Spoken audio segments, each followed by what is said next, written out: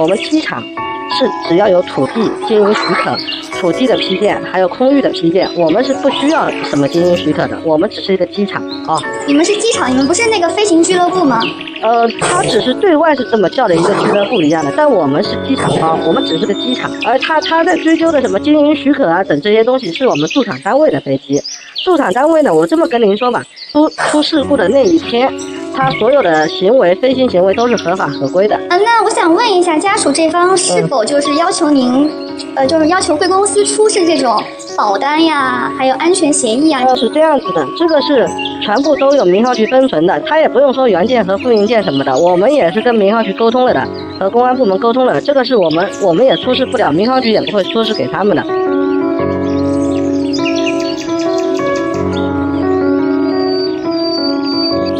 那么就完全是按照调查结果出来以后，那么如果有可能的话，那么我们法务不介入了，那就两方人员通过法律途径来解决。那法院判赔多少，我们既无条件的去赔偿。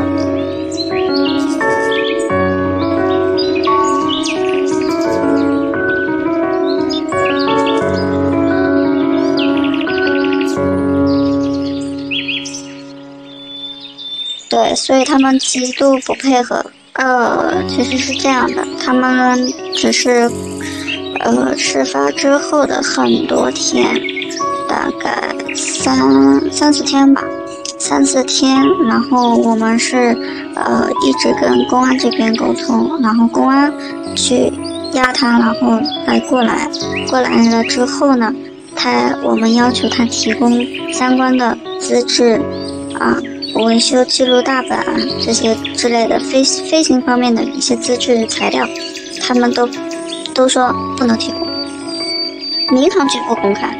那是民航局不公开。但是这个事故方的话，我现在去追究他的这个资质的问题，他肯定是要要给我看，他有哦，那给我看，对不对？啊，我们目前没有谈任何钱，我们是要追究刑事责任。我现在是针对他公司的一个资质的问题，跟消防。设施不到位，管理安全有问题，